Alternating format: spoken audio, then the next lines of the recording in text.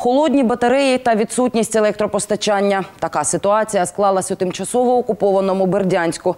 Про це Суспільному розповіла голова міської військової адміністрації Вікторія Галіціна. За її словами, все це через брак кваліфікованих кадрів. На комунальних підприємствах не вистачає аварійних бригад та техніці. Тротуари та дороги зовсім нічим не посипані. Також постійно змінюється напруга в електромережі. У деяких районах міста навіть відсутнє електропостачання зовсім на водока- водопровідних мережах КП Бердянськводоканал. Кількість пориву зросла в два, навіть в три рази з порівнянням з довоєнним періодом. Цієї зими ми навіть спостерігаємо комплекс проблем із теплопостачанням. Це лише в грудні минулого року зафіксовано понад 10 випадків аварійного відключення тепла. А от у тимчасово окупованому Мелітополі проблеми із забезпеченням мешканців питною водою, повідомив міський голова Іван Федоров.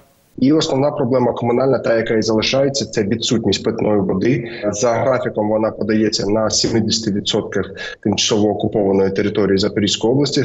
Що стосується саме тимчасово окупованого Мелітополя, то опалення є. Що стосується е, дрібних подвір'ї, е, невеликих подвір'я в е, населених пунктах, де немає газифікації, то мешканці саме себе опалюють. Насправді ворог багато разів обіцяв їм завести і вугілля, завести і дрова, але жодного разу цього не виконав. Те, що стосується електропостачання, то відновлюються мережі днями, а не годинами, як ми це звикли бачити раніше.